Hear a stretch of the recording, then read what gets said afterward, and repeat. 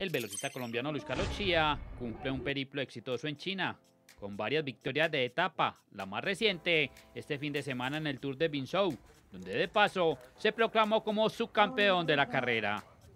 He ganado seis etapas en lo que llevo aquí en China, seis etapas y dos generales de, de, metas volantes sprint y un subcampeón en la general de la última carrera eh, de categoría UCI.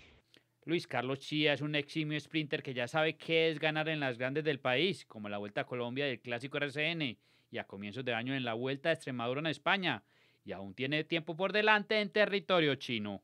En total, pues llevo dos meses acá, ya voy a cumplir ahorita a final de octubre los tres meses para terminar pues temporada, acá se termina temporada en, a final de octubre